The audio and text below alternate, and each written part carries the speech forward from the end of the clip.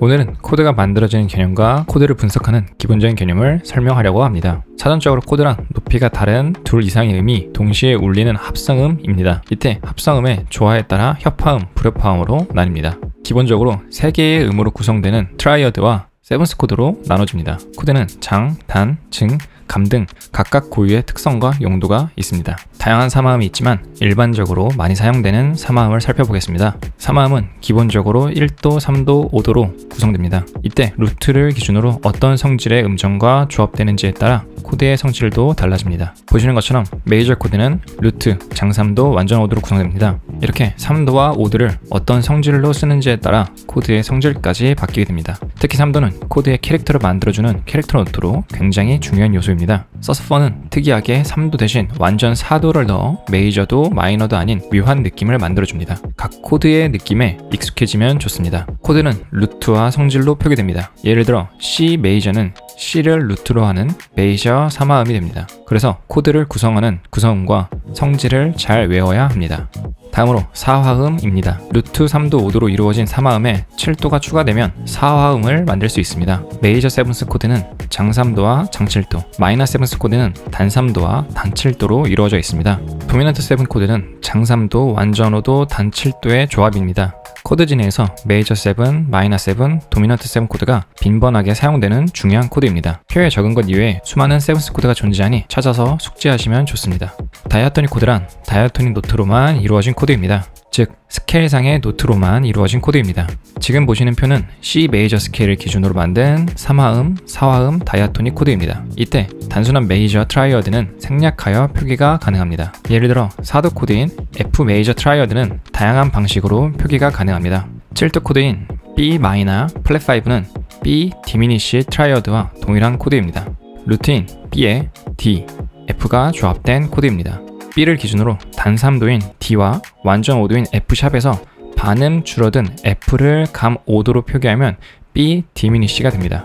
플랫 5는 단순히 완전 5도에서 플랫 됐다는 표시로 하여 B 마이너 플랫 5로 표기하기도 합니다. 표기법을 가만히 살펴보면 굉장히 직관적으로 만들어져 있어서 몇 가지 룰만 숙지하고 잘 살펴보면 이해하기 쉽습니다. 도미넌트 7은 도미넌트를 생략하여 표기 가능합니다.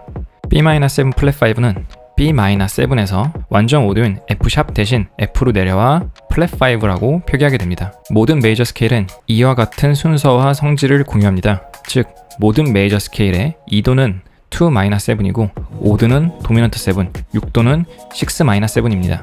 이 표에 있는 성질의 순서만 잘 외우면 모든 diatonic 코드를 쉽게 찾을 수 있습니다. 그렇다면 이렇게 공부한 코드를 언제 어떤 식으로 사용하면 좋은지 예를 들어보겠습니다. 우선 몇 가지를 살펴보겠습니다. 메이저 7 코드는 모든 메이저 스케일에서 1도, 4도 중 하나로 사용됩니다. 마이너 7 코드는 모든 메이저 스케일에서 2도, 3도, 6도 중 하나로 사용됩니다. 도미넌트 7은 모든 메이저 스케일에서 5도로 사용됩니다. 이러한 요소를 가지고 하나씩 대입하면 됩니다. 저는 B 플랫 마이너 9을 기준으로 풀어보겠습니다. B 플랫 마이너 9이 2도일 경우, 3도일 경우, 6도일 경우 이렇게 풀이가 가능합니다. 여기서 가장 말이 되는 것을 고르면 됩니다.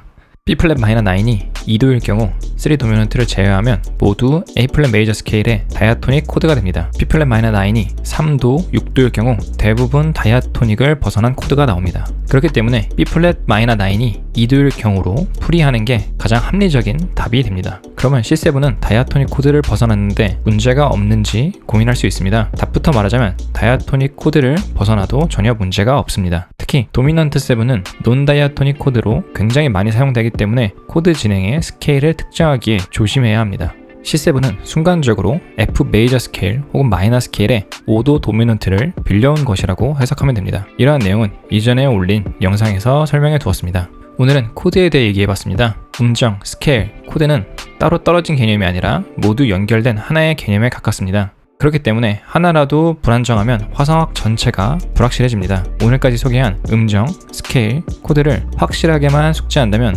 음악을 분석하는데 큰 도움이 될 것 같습니다.